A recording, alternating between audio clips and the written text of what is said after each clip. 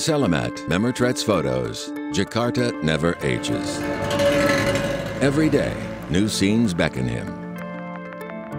67 year old Memortret is an experienced photographer based in Indonesia. Because he was born in China, he sees the city he's called home for over 30 years from two cultural perspectives. His photos present both the past and the future of the city. Though the people in the photos have aged, the city remains vigorous.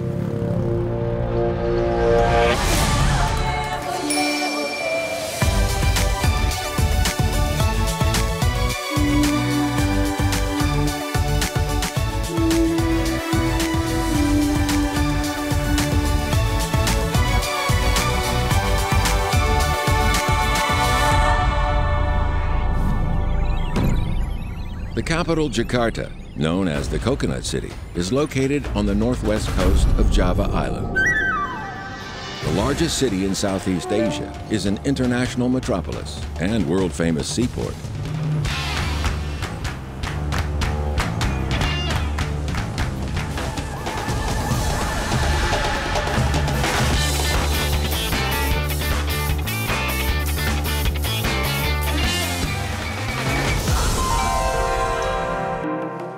The Dutch established a colony here in the 16th century, and Indonesia didn't gain independence until 1949.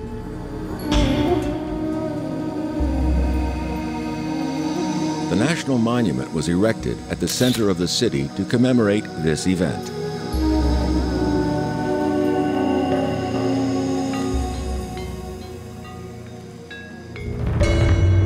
The Istiqlal Mosque meaning Independence Mosque in Arabic, is located in the northeastern part of the monument and is the largest mosque in Indonesia.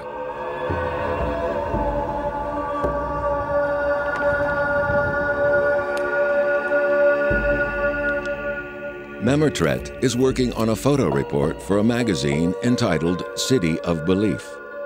Indonesia has the largest Muslim population in the world. The people and their beliefs are closely related. He takes pictures of a grand religious service underway. This mosque can attract over 200,000 followers during Ramadan.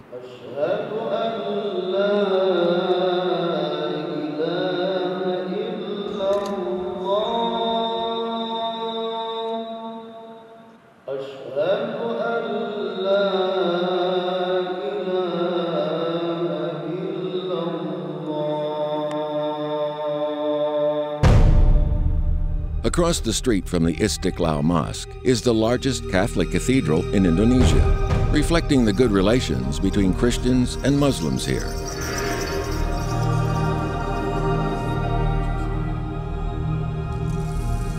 The Indonesia seen through Memortret's camera lens is a multi-faith, multicultural country.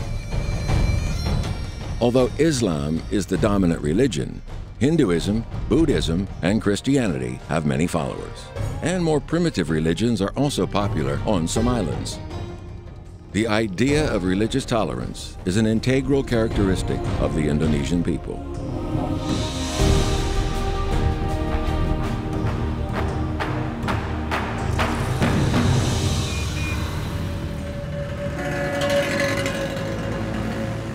Memortret has been busy all day taking photos. At dusk, he rushes to his studio to process his photos. Itu tidak hanya terbatas di kelompok-kelompok masyarakat, tetapi sudah masuk ke dunia perdagangan. Mal-mal itu kan semuanya dihias dengan suasana Natal, suasana Tahun Baru, suasana Lebaran, suasana Imlek.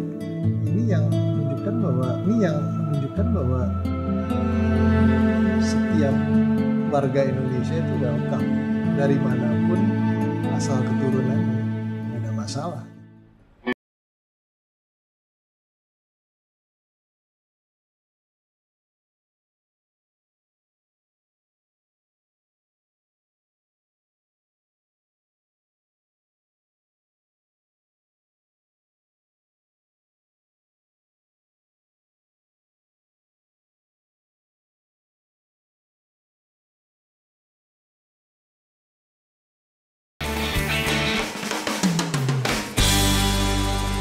The Suave Band is performing in the Exo Bar, their first stop of the night.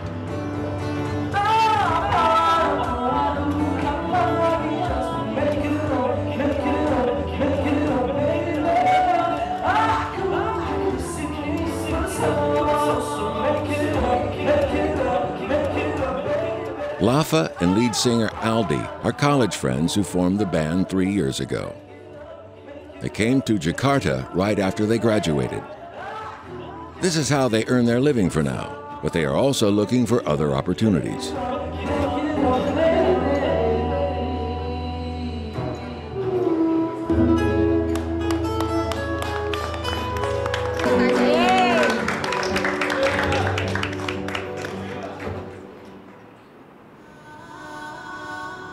Jakarta is the most open, prosperous, and cosmopolitan city in Indonesia.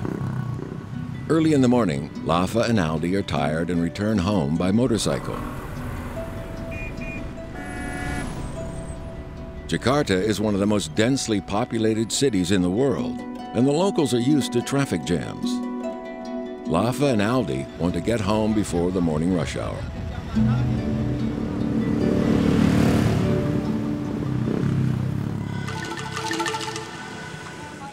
Barbecue is an Indonesian tradition. There are barbecue stands everywhere in the city. Like most Indonesian people, Lafa and Aldi love sweet food. Today they're having chicken barbecued with sweet soy sauce and spicy rice for breakfast.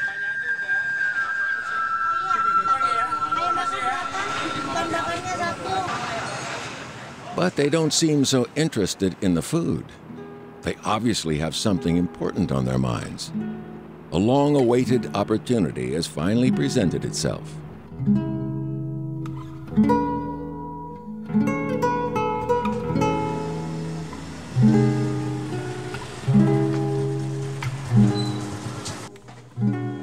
Not long ago, they wrote a song based on their lives.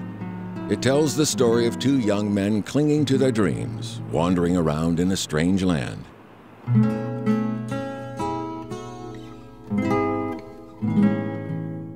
Song was chosen by a record company and makes it to number three in the Indonesian music charts.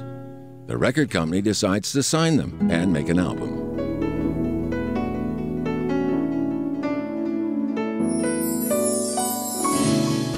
The press conference to promote their debut album of original songs will be held this afternoon. Malam yang mulai terpisahkan Dari mimpi berjuta mimpi Kau masih saja akan menanti temukan yang tersembunyi. Dan apakah kau takkan berhenti diam di sini? Hanya kata yang tak bisa atau tak mampu mungkin tak ada. Yang akan mengajakmu untuk mulai melangkah merangkai mimpimu. Aku hanya coba menyadarkanmu. Jangan pernah biarkan apa yang halangi dan menghentikanmu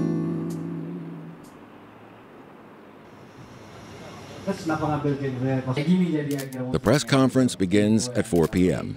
Terus di mana? Di Jakarta. Reporters focus their cameras on Lafa and Aldi, who are in the media spotlight for the first time. Jakarta has accepted and shaped them. This city has provided a new starting point in their lives and careers.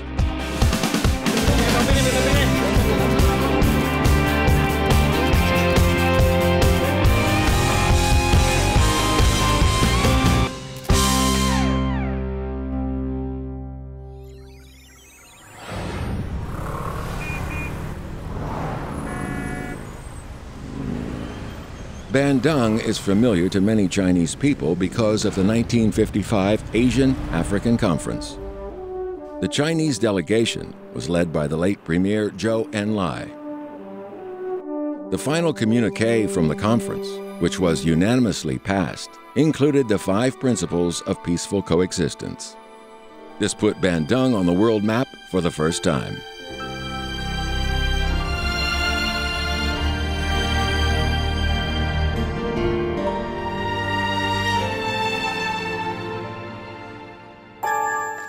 Chinese people also know Indonesia because of the popularity of badminton here. It's Indonesia's national sport, and its competitors have won many competitions. 13 year old Rizali Wongsan Atta Wuler began learning badminton at the SGS Club at the age of eight.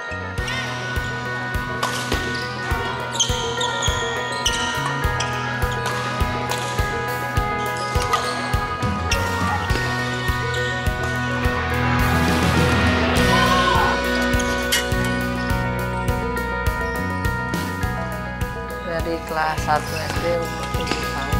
Karena bulu tangkis menyenangkan. Ya alasannya apa ya? Ya suka aja dari dulu da- eh, jadi kalau bola kan eh, ada cedera yang patah kaki, patah kaki yang yang kayak gitu. Kalau bulu tangkis kan nggak ada jadi lebih memilih olahraga yang aman aja. Wuler comes to the club every day after school. A number of Indonesian badminton stars have trained here, including Olympic champion Taufik Hidayat. Any Indonesian child crazy about badminton would be proud to train here.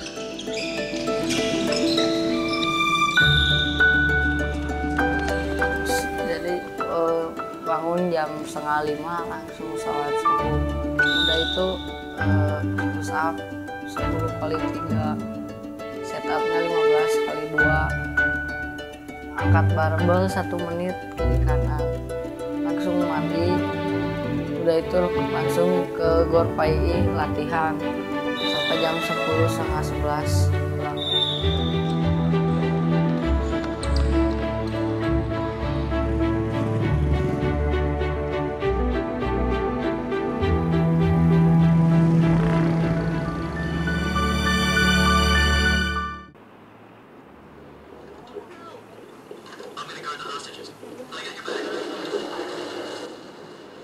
It's the weekend, so after morning practice, Wuler goes home to play video games with his cousin.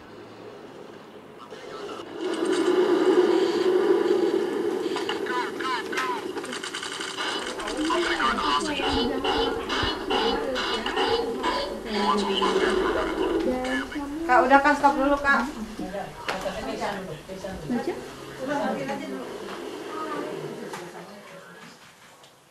He spends most of his time and energy playing badminton. His mother has arranged for a tutor on weekends to help him keep up in school.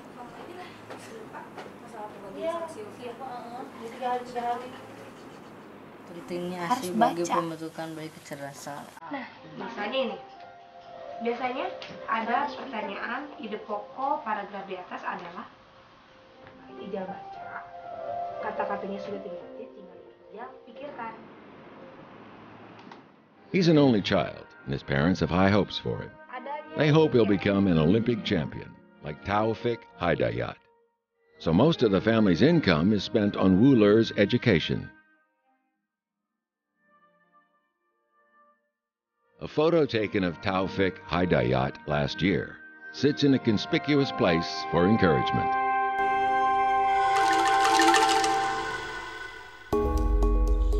Wuler will represent the club in an important competition in a few days. The managers of many famous companies will be there to sign contracts with a few lucky young players. This is a golden opportunity that could lead to becoming a member of the national team. Wuler's coach, I.E. Sumarat, is intensifying his training.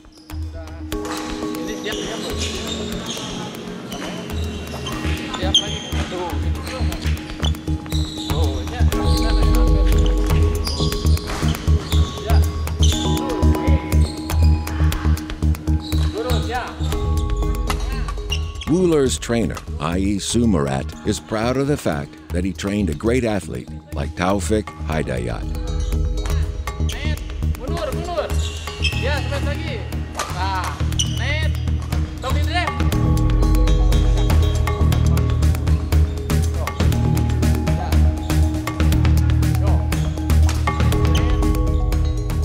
jadi bulu tangkis itu di Indonesia itu memang sangat populer sekali karena satu-satunya olahraga eh, kita pernah juara All England seperti ada Tan Yuhok, ada Rudi Hartono, ada saya Lim Swee King, dan lain-lain pemain yang muda-muda seperti Alan, Susi Susanti, sampai ke Taufik Hidayat.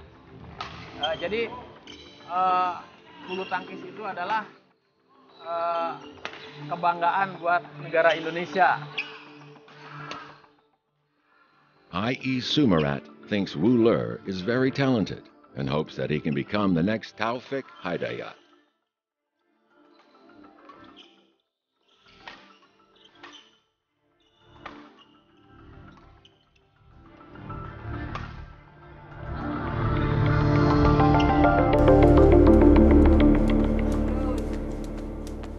On days when Wuler doesn't go to the club, he trains at home with his mother, who is almost stricter than his coach.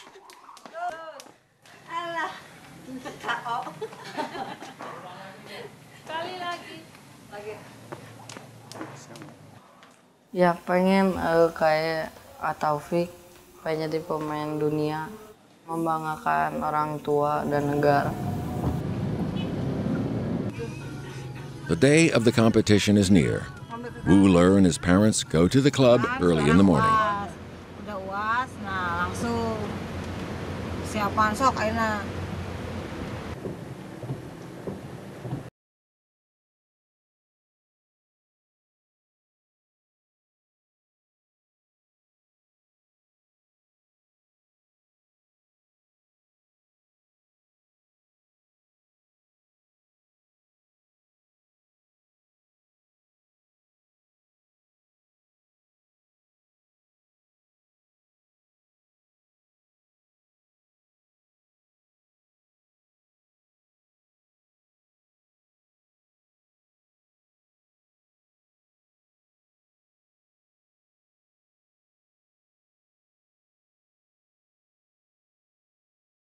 In the end, he wins his game, but he knows that the competition will only get fiercer.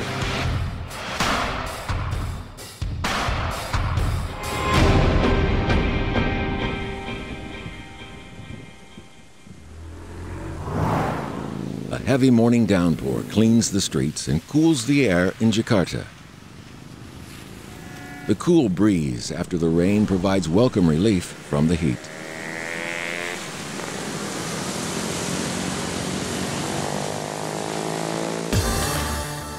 Amateur model Catherine Ernawati is putting on makeup in a Jakarta photo studio. She's going to model for an online clothing store.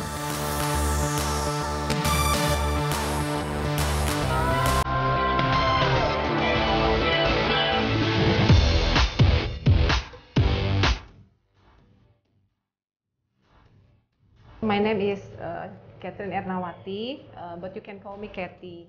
I'm a freelance model. Uh, I live in Jakarta. Uh, uh, in the morning, because I'm already a housewife, so I taking care of my kids.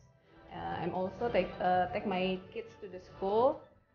Uh, kalau untuk gym, saya bisa uh, gym di klub mana pun di Celebrity Fitness karena saya adalah member VIP gitu ya. Uh, selain itu juga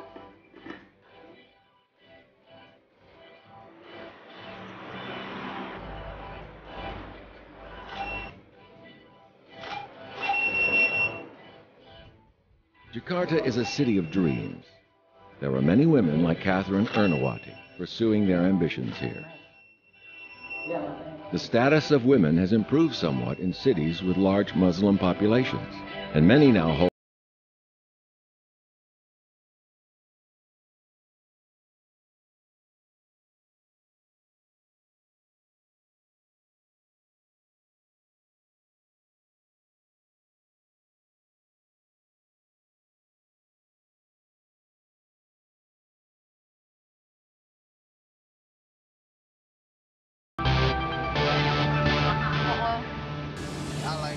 After her intense morning shoot, Catherine Ernawati hurries to another one. She only has time for a quick lunch in the car. She believes it's all worthwhile because she's living her dream.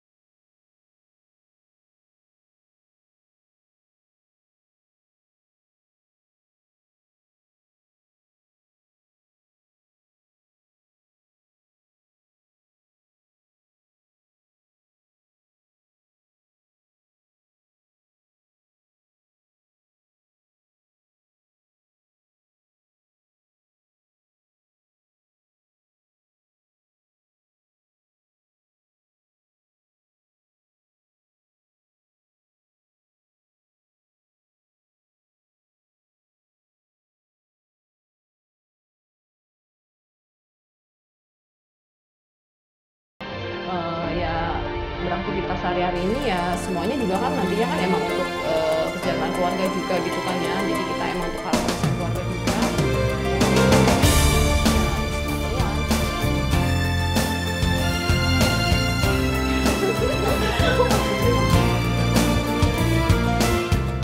In Jakarta, people are confident about the future and working to realize their cherished dreams. They are confident those dreams are within sight.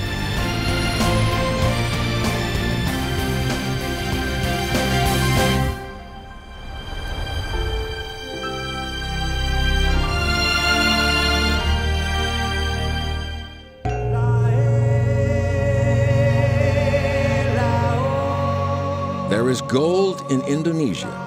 400 years ago, this stirring slogan drew countless explorers and traders pursuing a dream. Today, Indonesia is still a magnet for idealists. This nation of islands, volcanoes, and modern cities is a modern country that also preserves tradition while opening its arms to the world. Indonesia is a very rich country in terms of culture. And uh, many Indonesians actually originated from China. And certainly, being a very rich country in terms of uh, natural resources as well as tourism, we warmly welcome people from China to travel and visit Indonesia. Indonesia, a unique island nation, is mysterious and colorful, like a ring of emeralds lying on the equator. The glamour of Indonesia attracts people from all across the world.